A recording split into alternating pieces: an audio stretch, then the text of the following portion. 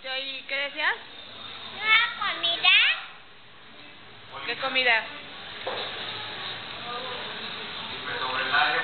Mira, uno, uno gugu. A ver. No son gugu, son peces. Ya no pasó. Gugu? Sí. Esa que te... A. Adiós, Dante.